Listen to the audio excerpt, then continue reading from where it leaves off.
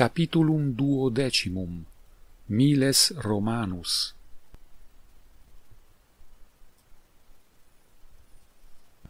Quintus est frater Marci, Iulia soror eius est, Marcus et Quintus fratres Iulie sunt.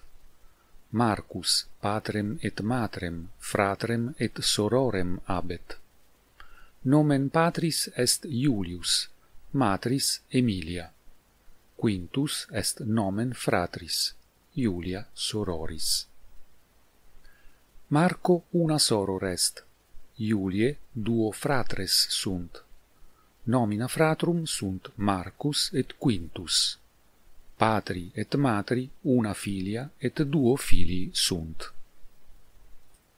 Matri Emilia nomen est. Quod nomen est patri? Ei nomen est Lucius Iulius Balbus. Viro Romano tria nomina sunt. Lucius est prenomen, id est nomen primum. Balbus cognomen est. Filiis nomina sunt Marcus Iulius Balbus et Quintus Iulius Balbus. Marcus et Quintus prenomina sunt filiorum alia prenomina latina sunt Aulus, Decimus, Gaius, Publius, Sextus, Titus.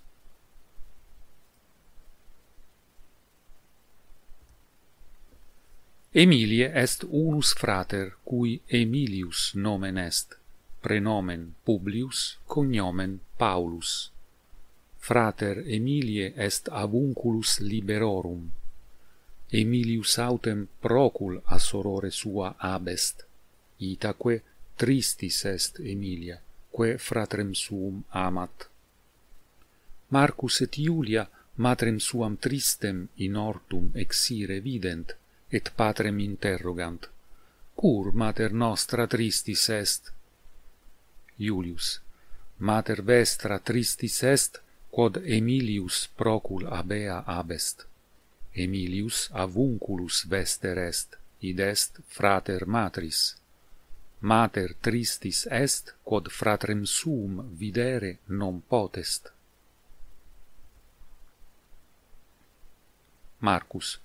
Ubi est avunculus noster? Iulius. Avunculus vester est in Germania. Emilius miles est. In Germania multi sunt milites Romani. Julia. Quid est miles? Julius. Miles est vir qui scutum et gladium et pilum fert.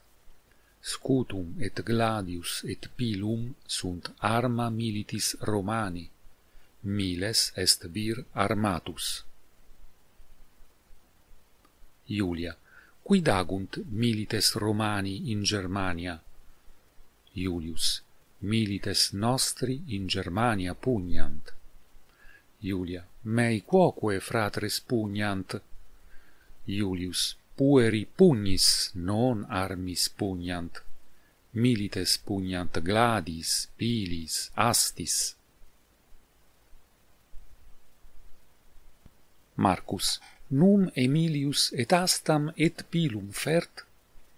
Iulius, Emilius pilum tantum fert, is enim pedes est non eques. Eques est miles qui ex equo pugnat, qui pedibus pugnat pedes est. Equites astas, pedites pila ferunt. Pilum non tam longum est quam asta, neque gladius peditis tam longus est quam gladius equitis pilum Emilii sex pedes longum est. Marcus, quam longus est gladius eius? Iulius, duos pedes longus est.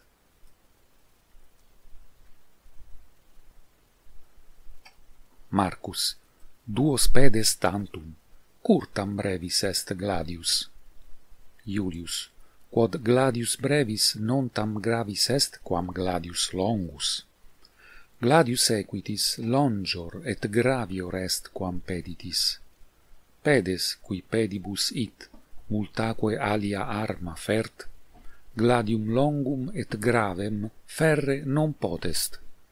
Itaque gladius eius brevis et levis est, brevior et levior, quam is, qui ab equite fertur.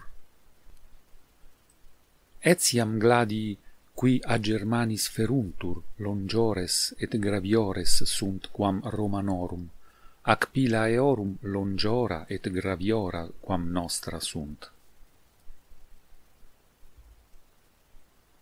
Iulia. Qui sunt Germani? Iulius. Germani sunt homines barbari qui Germaniam incolunt.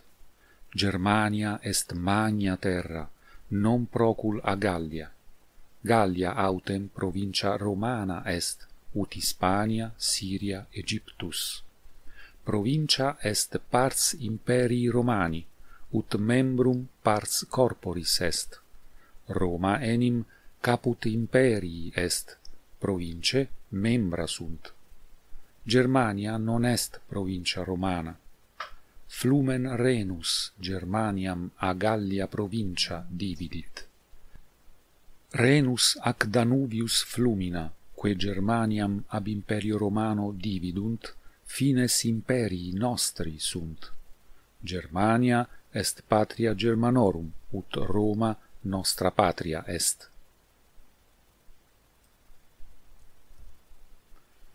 Iulia. Cur milites Romani contra Germanos pugnant, suntne Germani homines improbi Julius milites nostri contra Germanos pugnant, quod Germani amici Romanorum non sunt, nec Romani sparent. Germani hostes Romanorum sunt, ac bellum est inter Germanos et Romanos. Germani exercitum nostrum oppugnant. Iulia, quid est exercitus? Iulius, exercitus est magnus numerus militum, qui contra hostes ducitur. Qui exercitum ducit, dux exercitus est. Dux exercitui imperat, exercitus duci suo paret, nam dux ab exercitum metuitur. In Germania et in Britannia sunt magni exercitus Romani, qui contra exercitus ostium pugnant. Milites et duces exercitum Romanorum ab ostibus metuuntur.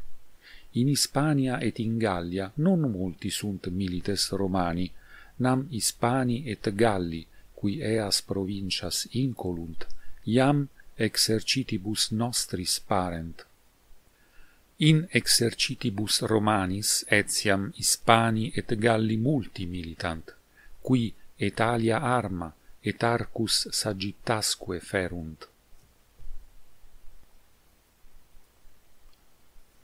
Iulia. Ubi habitat Emilius? Iulius. Emilius in castris habitat, mille passus a fine imperii. Castra sunt militum oppidum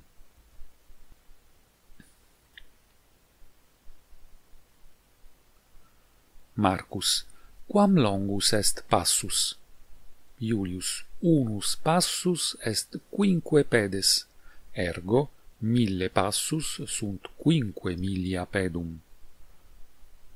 In castris Emilii sex milia militum habitant. Nulle femine aut pueri illic habitant, nec enim femine puerique militare possunt. Circum castra fossa et vallum longum et altum est. Marcus, quam altum est vallum castrorum? Iulius, prope decem pedes altum est, et duo milia passum longum. Quattuor porte per vallum in castra ducunt, inter duas portas est via lata, quae castra in duas partes dividit. Ea via centum pedes lata est. In bello porte castrorum clauduntur, cum exercitus germanorum castra oppugnat, Romani castra defendunt, vallum ascendunt, ac pila in Germanos iacunt. Illi autem nec pila in castra iacere possunt, quod fossa nimis lata et vallum nimis altum est. Nec vallum ascendere quod romani pilis et gladiis vallum defendunt. Hostes castra nostra expugnare non possunt. Ecce porte aperiuntur atque equitatus noster in hostes impetum facit. Barbari perterriti qui impetum equitatus sustinere non possunt, arma ad terram iacunt, atque in magnas silvas fugiunt.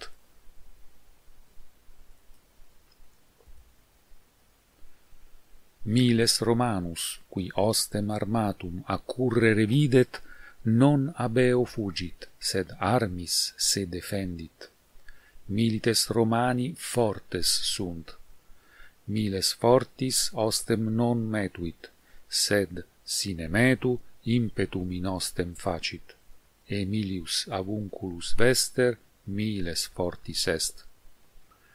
Circum imperium Romanum multi sunt hostes, castra et oppida nostra, ab ostibus opugnantur, neque expugnantur, nam milites nostri provincias ac patriam nostram a Germanis et abalis ostibus defendunt.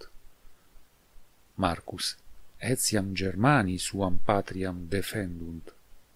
Iulius sed patria nostra pulcrior est quam illorum atque Germani homines barbari sunt. Marcus nonne fortes sunt Germani? Iulius fortes sunt illi, sed Romani fortiores sunt, nec arma Germanorum tam bona sunt quam nostra. Scutum eorum nimis parvum est, pilum nimis longum et grave, nec enim pilum tam grave procul iaci potest. Itaque pilum nostrum breve et leve est, brevius et levius quam pilum Germanorum. Milites Romani bene pugnant, quod pila eorum brevia et levia sunt, non longa et gravia ut Germanorum. Patria nostra bonis armis defenditur, nullus hostis Romam expugnare potest. Marcus, cur Romani Germaniam non expugnant? Julius, Germania non solum armis defenditur, sed etiam altis montibus, magnis silvis, atque latis et altis fluminibus.